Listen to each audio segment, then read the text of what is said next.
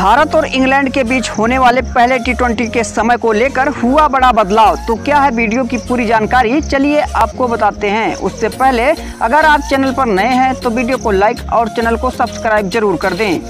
दोस्तों, भारत और इंग्लैंड के बीच पहला टी मैच आज रात साढ़े दस बजे से खेला जाना था। लेकिन इंग्लैंड क्रिकेट बोर्ड ने खराब मौसम के कारण मैच के समय में बड़ा बदलाव किया है। अब यह मुकाबला रात्रि साढ़े दस बजे की बजाय शाम साढ़े सात बजे से शुरू होगा। दोस्तों, जानकारी कैसे लगी कमेंट में ज़रूर बताइएगा।